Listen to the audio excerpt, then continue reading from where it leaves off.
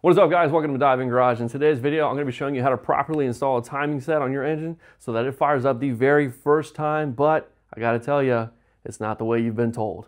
Let's dive in. All right, so the first thing we gotta do is get the old lower gear off, and that's pretty simple. All we're gonna use is a two jaw puller, get that thing right off.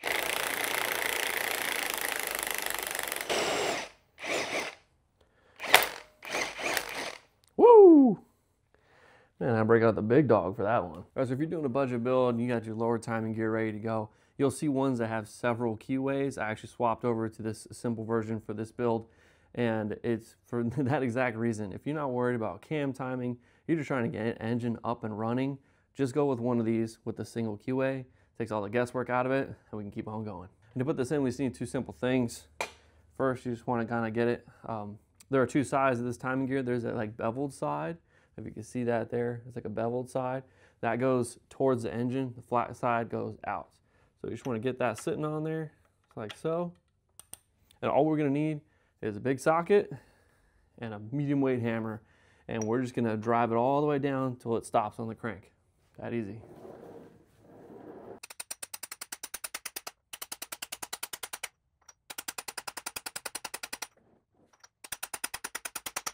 There you go.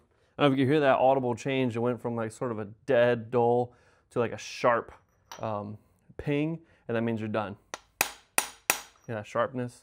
You're good to go. Now you got your lower uh, timing gear on, and we can keep on going.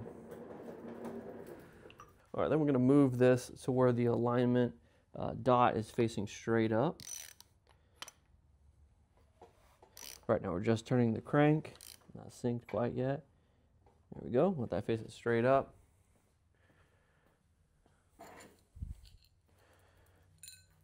Then grab your new chain. And first, first thing we're gonna do before we go installing it is we're gonna get the key lined up and we're gonna make sure that when we're assembling, we're dot to dot. But that that's what I'm gonna talk about in a little bit here, guys.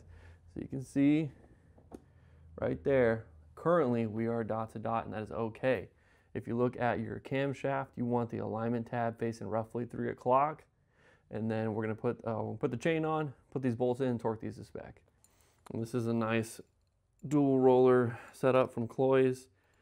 These are pretty affordable, so don't be afraid to spend like 20 bucks or so on a new timing set when you're doing a new build, because that'll work out just fine for you. See, there we go.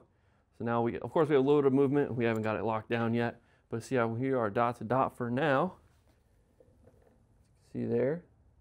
Can you see? How about now? There we go. let's get this thing torqued down. This really don't take much. 20 pounds is plenty. And if you want, you can put some thread lock on there, like I said. Um, but this was really not a high torque area. Now, another thing you want to do while you're in this area is if you got a true double roller, check that clearance right there. You might have to do some grinding. Now is a good time to rotate the engine, find problems, and solve them now before you're trying to run this thing. So that's what I'll do right now. Let's see. I think we'll be good, but never hurts to check.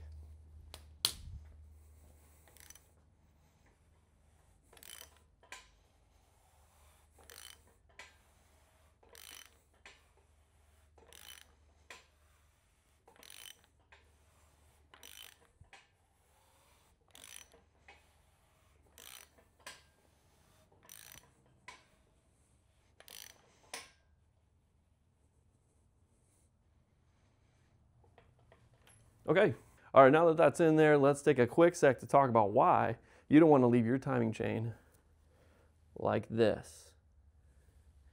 Because what's going to happen is that you're going to try to fire your engine, get the distributor in, spark plugs, all that, and you're going to find that your engine does not fire. Not only that, it'll probably shoot flames out of the carburetor, and you're going to be questioning life, potentially making bad decisions, and threatening to burn this thing down if it doesn't fire up.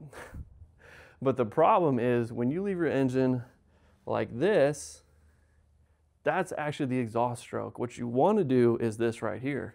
Right now we're lined up dot to dot. Let's go 180 degrees out.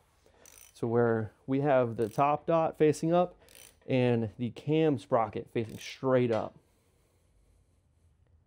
Right there. So now we can see we have our crankshaft with the alignment dot straight up and we have our camshaft with the alignment dot straight up. And in this configuration, your engine is guaranteed to fire up first try.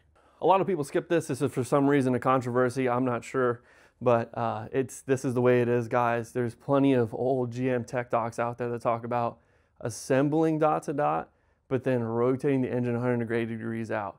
It's really, uh, it's really funny how it's still a mystery, but it for some reason still is.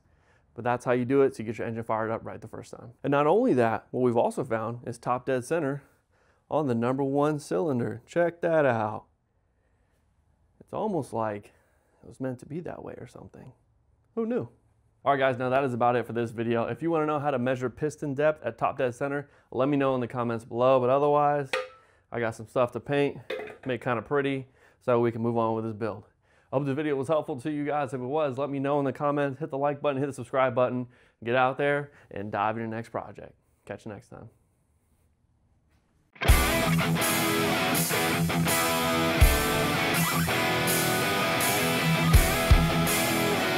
right back.